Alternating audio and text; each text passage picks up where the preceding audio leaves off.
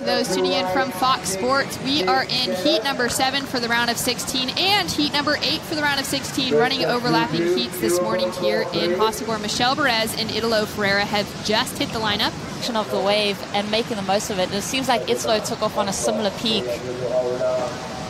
Wow, what an aggressive maneuver from Italo. I love the way that he doesn't find that barrel section, but then once he goes to the maneuver option, even on a milky face, he is just so explosive, so powerful. They are not even surfing the really heavy part of the barrel over there. Here goes Italo flying out of a barrel. He's finding something. But down the beach there, there's a crazy part of the sandbar that is really hollow. And I mean, just amazing. And there's nobody up there. And Yago jumped off the ski and found himself on that last wave. That was the wave. That was the sandbar that these guys, I think, haven't been surfing. He is such an animal. Then backs it up. Just tube time. Are you kidding? We're waiting for this score to drop in still. He is ready to rumble. His engine is just revving. I call him for the Ferrari. Italo Ferreira just ready to go. I'm just I'm just happy to be back here. What about the support you're getting from both the Italian crowd and the local crowd? You live here in Hossegor, you're getting so much love on the beach. It's incredible to uh, come in and see all the Italians, all the local people. It's almost emotional just to see how many people are supporting me. So the quarterfinals will be coming up next. We are going to run those as overlapping heats as well. So a lot of waves coming through the lineup. Italo Ferreira flying through on his backhand. Great opening turn.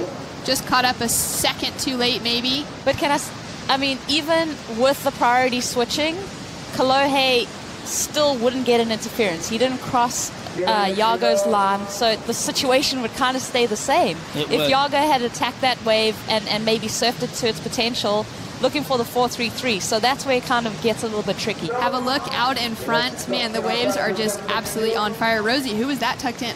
Wow, I'm going to have to figure it out because they were so deep in that barrel. Let's see someone a little further south. It was actually Jeremy Flores who locked in on that previous ride. And now Michel Bourez, another French competitor, tucked in under the lip, throws it down. He's going to straighten out, get onto that jet ski. Gore in his line at the moment because Jeremy has started so well. Michel Bourez tucking under, finding some vision, really had to put on the brakes to find that barrel, then hacks into that maneuver. It's coming underway. 15 minutes left on the clock. Italo Ferreira, though, currently sitting in the lead, throwing so much power in on his backhand attack. He's sitting with a 6.67 and a 4.93 at the moment, looking to put more distance between himself and Michel Bourez. Love that end move that Michel was able to lay into. Italo grabs the rail in that bottom turn. Beautiful plume of spray coming out of the fins. This guy, he just never falls off. Facing an 8.51 to take the advancing position over Italo Ferreira. There's the scores in from the judges for that last one, but Michel Bourez tucked in. Can he come out unable to finding the left? so scores in a 4.57 for Jeremy Flores. Scores mostly coming from the opening turn. Michel Bourez now tracking down the line, gaining some speed. Nice wrap, driving that rail in. Sets himself up for a second. So connecting those two maneuvers together really clean. Now coming through to, to catch the ski on the inside.